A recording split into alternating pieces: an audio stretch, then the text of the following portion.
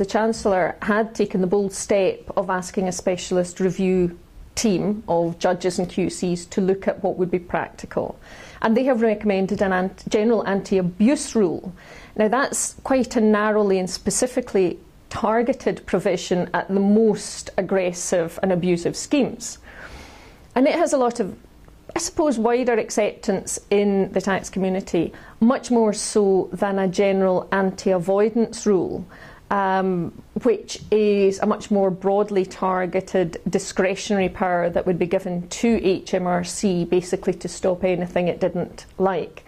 The problems with a broad general anti avoidance rule is that there can be a great lack of certainty for businesses and individuals as to the tax consequences of their transactions.